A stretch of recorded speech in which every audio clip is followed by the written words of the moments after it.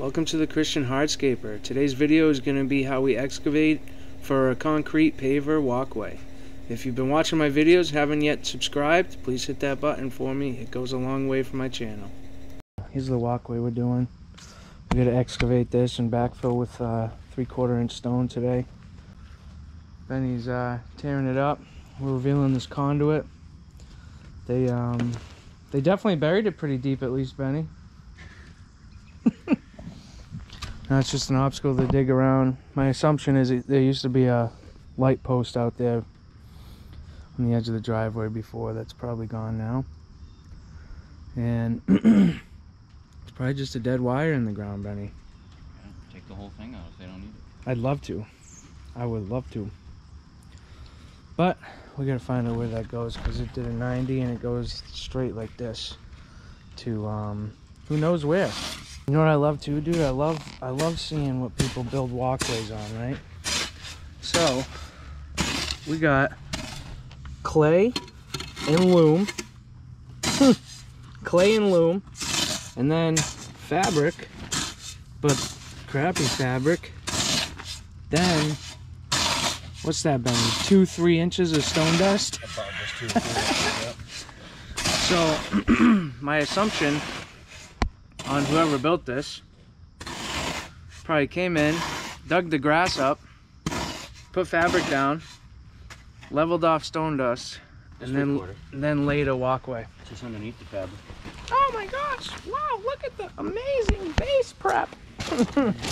They even got a brick. What is that? A wheelbarrow three quarter they put down? All set. That's Well, probably that when it makes failed, dude. They had to come in and fix it. Mm-hmm. Man, you guys out there doing this crap, I'll tell you. I don't know. Do you know, Ben? I don't know. Do you got something like PG rated we can say about them? You're keeping us in business. Yeah, for keeping us in business. Oh! Yeah. We're out here redoing everyone's crap. sure. Pretty much. it. We're we're called the crap redoers.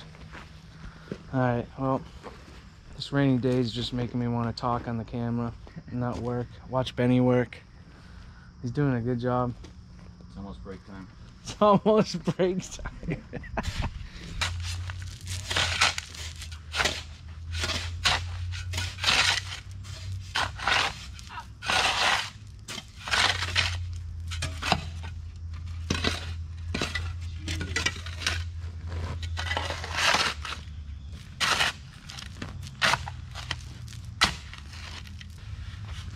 Well, I don't know what that two and a half inch conduit's for, but Gone.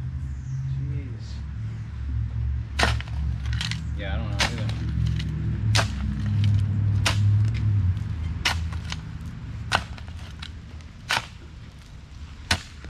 Why?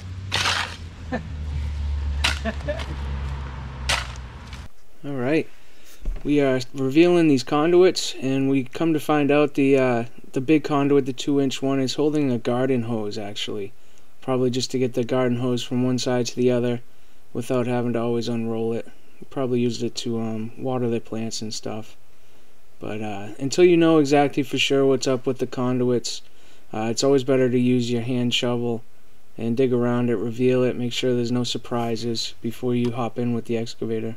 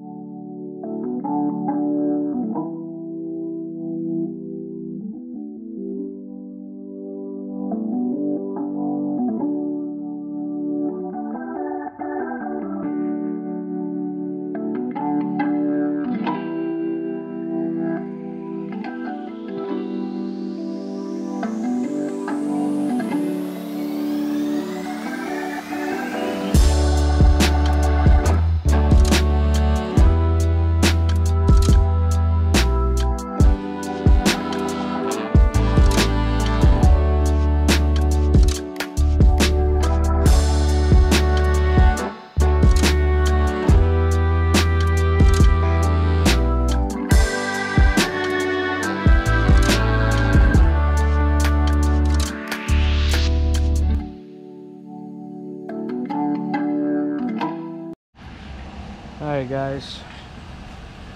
I wish I had the okay from customer or somebody that this uh, wire is unused because I'd love to just cut it and get it out of my way. It's really putting a damper on the excavation. But um, until I heard anything like that, I just got to deal with it. So it's about everything I can do with the mini excavator right now. Uh, I got a little uh, pile that I'm going to pick up with the skid steer and load into Pat's truck and then I'm just to have to come in here and uh, excavate by hand. So Fortunately, that's just the way it is sometimes. If the uh, wire is still active or something they want to use, we'll just keep it buried and then, I don't know.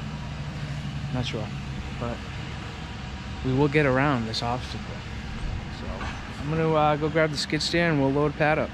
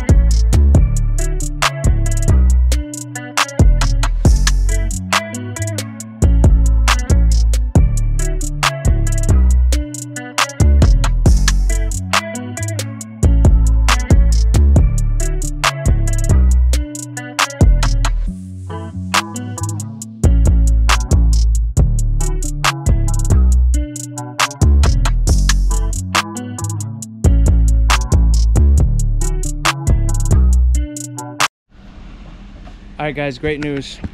After I hand dug a whole uh, bucket full of the skid steer, I decided to maybe see where the conduit goes.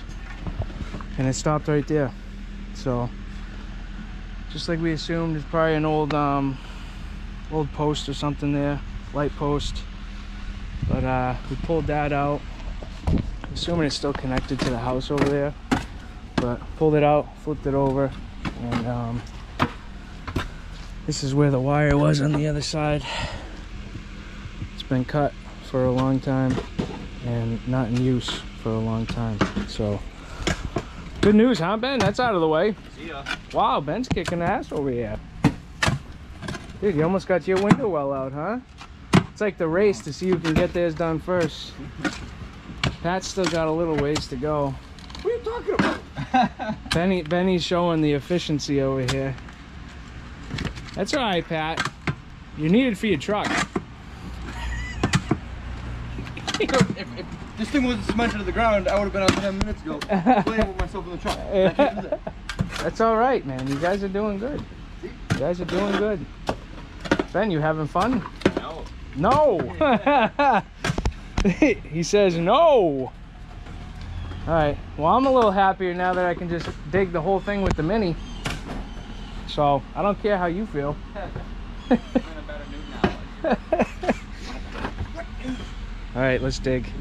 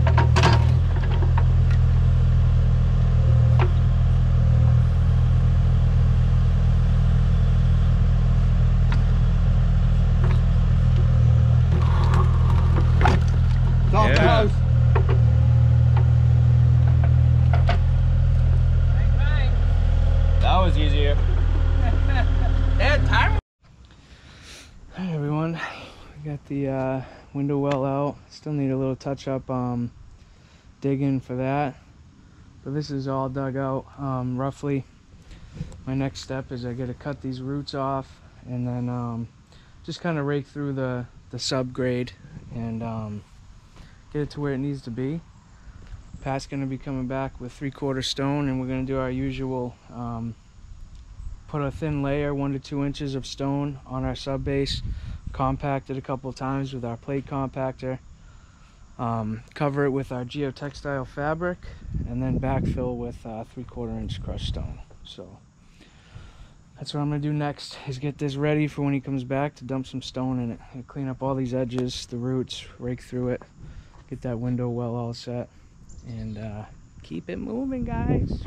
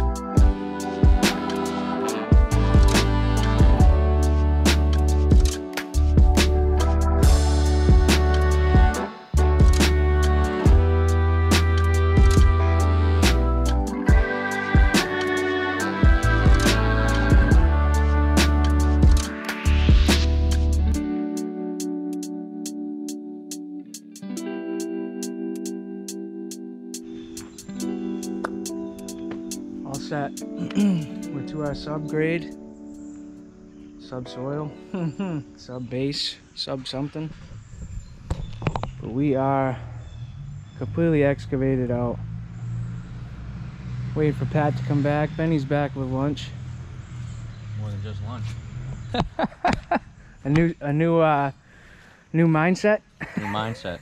A couple twigs. Uh, That looks good. it's, it looks real good. you forgot a word there.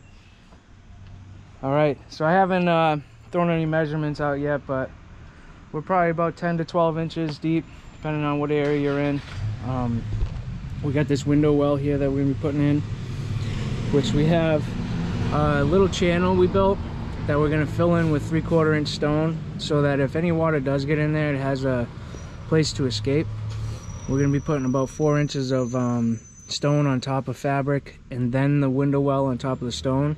So whatever water may go down into the window well will flow down into the patio and then all permeate into the ground. So that's ready. This is ready. These are all good. We're just waiting on stone. We're gonna have lunch and then we'll uh, we'll get to the backfilling and um, we're not gonna really worry about uh, getting really perfect grade or anything with the walkway today. We're just gonna spread out whatever we have. All right, thank you to everyone who is still with me and watched this whole video. I really appreciate the support and I hope you enjoyed the video. Uh, make sure you check out these videos and the, the playlist of this uh, whole front walkway install. That was our excavation. Next video is going to be our backfilling and screeding the base. And then we'll have our laying the pavers and uh, sanding the joints of the patio, or walkway I should say. But again, thank you guys, and if you enjoyed the video, make sure you hit that like and subscribe, and we'll see you in the next video. God bless.